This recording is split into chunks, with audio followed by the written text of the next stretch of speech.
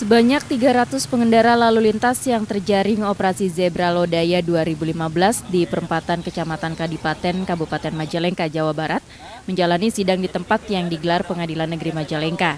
Kalau ke Majalengka kan harus waktunya lama. Hmm. Ini mempermudah, mempercepat, ya bagus juga. Hmm. Supaya pengguna kendaraan bisa tahu. Hmm. Bapak tadi ditilang?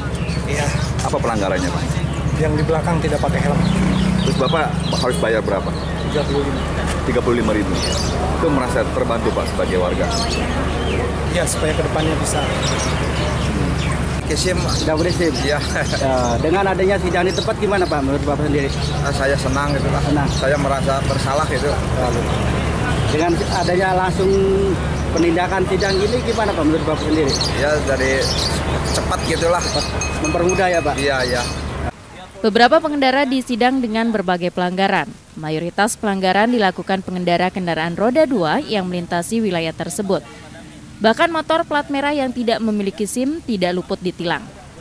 Selama 14 hari operasi Zebra Lodaya 2015, sebanyak 4.000 pelanggar lalu lintas di Kabupaten Majalengka menerima tilang dari Satlantas Polres Majalengka.